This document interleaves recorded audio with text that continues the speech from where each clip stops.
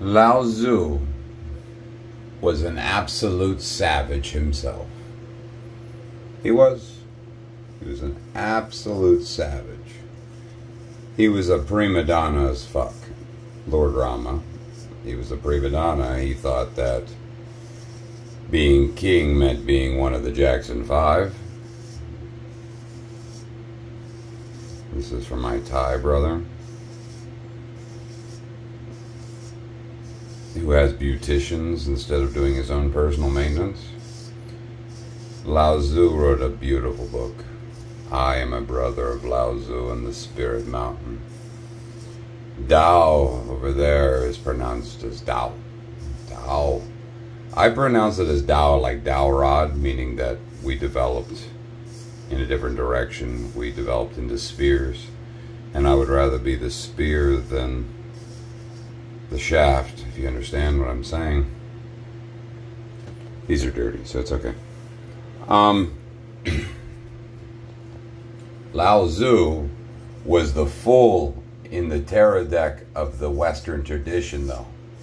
They admired him greatly because he had a tiny little dog. He had a tiny little dog. This itty bitty little yapping dog. And he loved that dog so much it appeared in the Tao Te Ching where he said, The neighbors should be only so close as to whence I hear the dog bark upon their approach.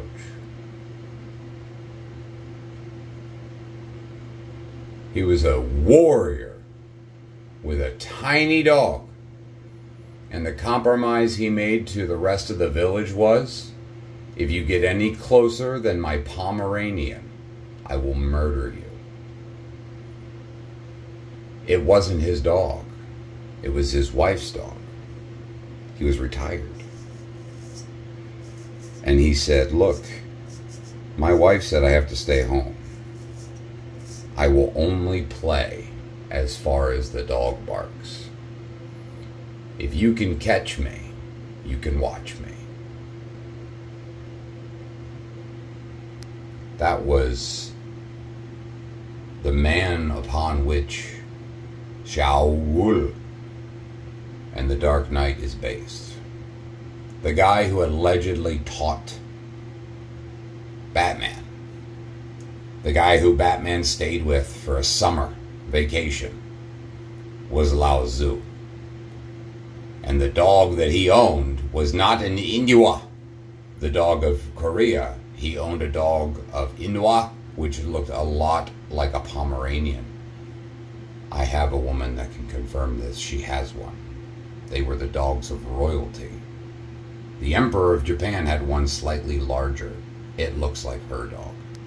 Lao Tzu had a dog that was smaller that looked like a Pomeranian. That is why there's a white man with a Pomeranian on the full card of the tarot deck that was painted in the 16th century in France. He had sores and he knew that dogs weren't really that frightening. Neither are kings that spend $30 million on tourist attractions. I drive a Honda Ridgeline. I know how to flirt with a commander.